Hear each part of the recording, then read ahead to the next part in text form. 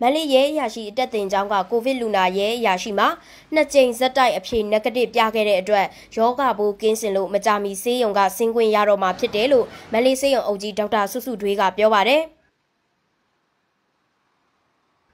ရခိုင်ကနေစခန်းမှုတင်တဲ့လာတက်တဲ့ရဲအရာရှိမှပိုးတွေ့ရှိခဲ့တဲ့အတွက်ကန်နိုနဒီကူးဆက်ယောဂါကူဆေးရုံမှာကုသပေးနေတာပဲဖြစ်ပါတယ်။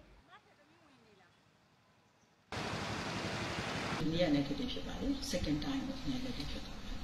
တယ် negative ထွက်တယ်ဆိုတော့ကျွန်တော်တို့မနေ့ကအဖြေရသိရပါတယ်ဒုတိယအချိန် negative ထွက်ပြီဆိုတော့သူဆင်းရပါဘူး